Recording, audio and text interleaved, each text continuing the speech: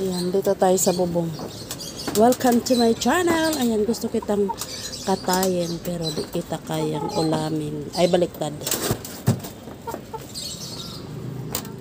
Manguha ako ng talong dito sa bubong. Ito ay lang guys, di ko abot. Aray, namitas tayo. Talong. Dalawa lang. Maliliit pa eh.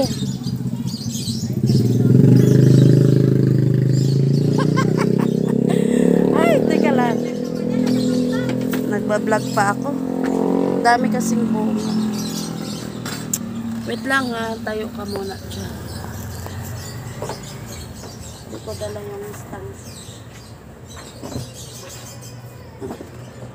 Daming bunga, maliliit pa.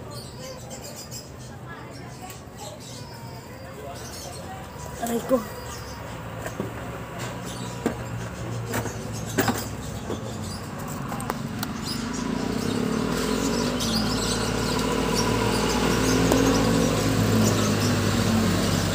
Ayan mo ginagawa ko. Tinitriman ko siya.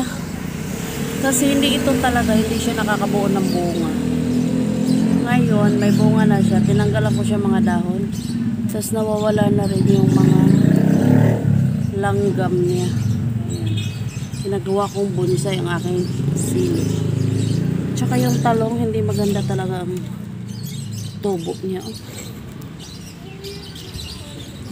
Saan ba ito nakaharap ang aking kamera? Ayan. Hindi maganda guys. Yan, binabonsai ko na rin yan. Ito. Ito naman, oh. Kita mo. Binawasan ko siya ng dahon. Ayan, ang mga dahon niya. At ito. Yan, may nabuo na siyang isang bunga. Diba? Ewan ko lang dito. Kasi ito din, tinitreman ko. Binawasan ko siya ng mga sanga-sanga. Yung kamukha niyan, doble-doble ang sanga. Ayan.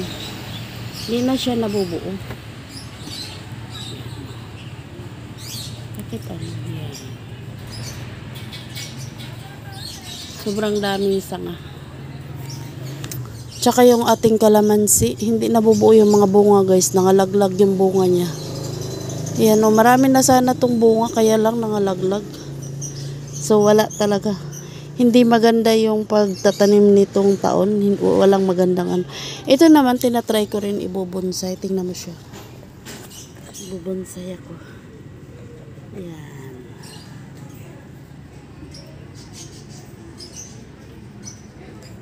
Tinatry ko lang yan.